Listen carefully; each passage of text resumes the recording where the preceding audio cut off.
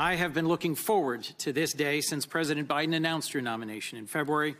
And over the next several days, members of this committee will have the privilege of helping introduce you to the American people so that they can gain the sense of confidence that I have in your values, your skills, your competence, and the necessity of confirming you to the Supreme Court.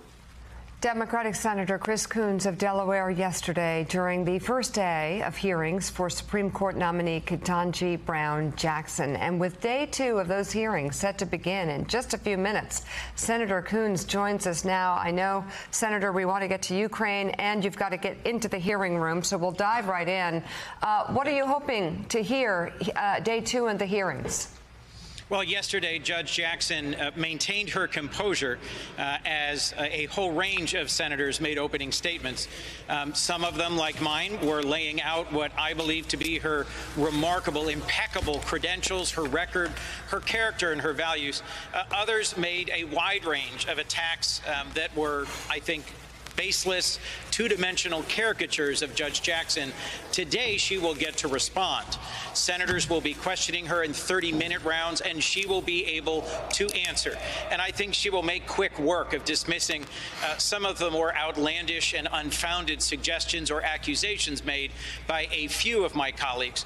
Overall, the tone and tenor yesterday was positive. Very few Republican senators questioned or criticized her actual credentials or record because they are outstanding.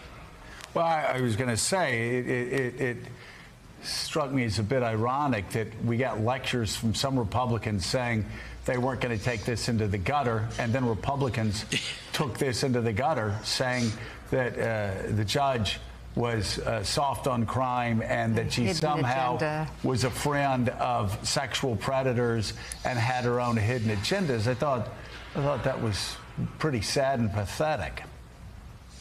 Well, I'll just say this. Um, having had the chance to meet uh, her extended family, her parents, her brother, uh, I am struck by the fact that she was raised in a strong family. She, her opening statement began with uh, both thanking her family and thanking uh, God and recognizing that her faith and her work ethic have been central to what success she's had in life. She came across as a humble, disciplined, highly capable, uh, legally skilled uh, nominee for for the Supreme Court. Uh, and frankly, she also got in the introduction an incredibly strong um, vote of confidence from a retired D.C. Circuit Court judge, a conservative, a Republican, who was in the position to review her rulings on the district court for many years uh, and gave the sort of unqualified uh, letter of introduction before the hearing and then personal endorsement at the hearing yesterday uh, that has been buttressed by letters of endorsement and support uh, from prominent law enforcement organizations like the International Association of Chiefs of Police and the FOP.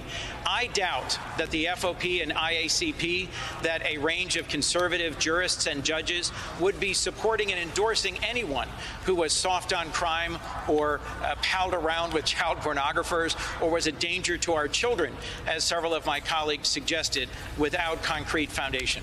Yeah, that one claim was made by one senator from Missouri, and it was interesting to note that none of his fellow Republicans even backed him up on that argument, but I suspect we'll hear more of that today. So, Senator, let me uh, forgive me for cutting to the chase, but as you watch uh, this play out, as you as you watch this candidate present herself, do you have any question that she'll be confirmed? I don't. Uh, I think that the American people, as they watch today, uh, will see the same judge that President Biden saw when he was interviewing possible nominees. Uh, someone whose work ethic, whose experience, whose qualifications, and whose character uh, make her a great nominee for the Supreme Court. Uh, she clerked for Justice Breyer on the Supreme Court. He's been a mentor to her for years. One of the roles that he has played as a justice is to help build consensus, to work with people of different backgrounds and values. Uh, I'm going to be questioning her today about her service as the vice chair of the U.S. Sentencing Commission and some standout examples of how she worked with conservative members of that panel in the interests of advancing both law and justice.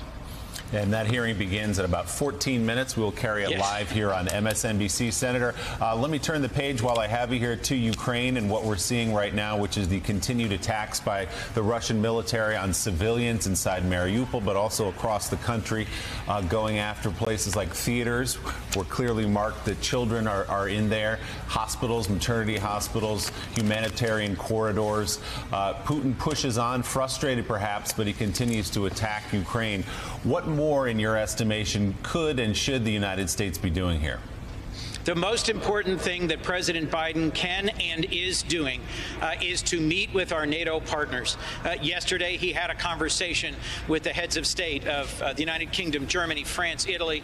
He is traveling to Europe this week to meet with our vital NATO and EU partners. Um, our strength is our unity. And I think in order to be able to convey clearly and forcefully red lines to Putin so that his brutal butchery of civilians comes to an end, we need unity in NATO to be able to draw red lines and enforce them. We cannot bluff. Um, President Biden is being advised by the best and most skilled of our military and intelligence leaders. I trust his judgment here. He knows that we are at genuine risk that Putin will do to Ukraine what he and his forces did to Chechnya and to Syria. Seven years into a conflict in Syria, Aleppo was in ruins. Hundreds of thousands of civilians had been massacred or displaced, uh, and Assad has evaded any accountability. If we allow Putin to continue uh, to pummel Ukraine and to escalate to using potentially chemical weapons or even, as you were discussing earlier on a panel, tactical nuclear weapons, the consequences for Ukraine, the West, and the world will be tragic. But President Biden is doing exactly what he needs to do this week, ensuring that NATO can speak with one voice to deter Putin from his dangerous escalation of this horrible conflict. Senator Coons, good morning. And Jonathan Lemire, you just mentioned chemical weapons, uh, potentially even a tactical nuke. Explain to us a little more about red lines. If that's a red line that Putin crosses, what should be the consequence uh, for that action? The consequence should be what we can get strong support across NATO for doing.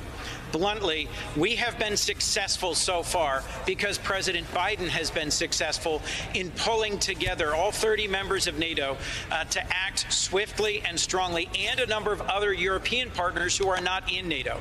So, for example, even the Swedes and the Swiss, who sat out the Second World War, who did not take action against Hitler, they have joined us in sending military aid and imposing sanctions.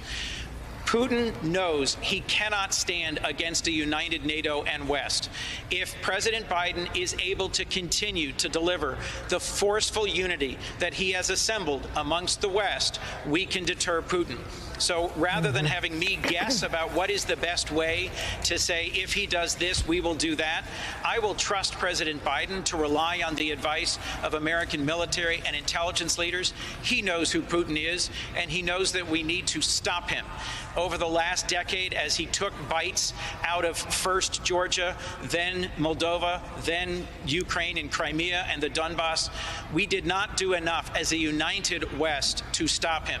This is the moment where we must. And I was encouraged by open source public reporting by the Wall Street Journal that clarified we are sending advanced surface to air missiles into Ukraine to help them uh, begin to close their sky and defend Ukraine against Russia. All right, Senator Chris Coons. Thank you. As always, thank, you. you. so much for being with us. We really appreciate it. Will. Hey, thanks so much for watching our YouTube channel. You can follow up on today's top stories and breaking news or catch up on your favorite MSNBC shows all in one place. Download the NBC News app today.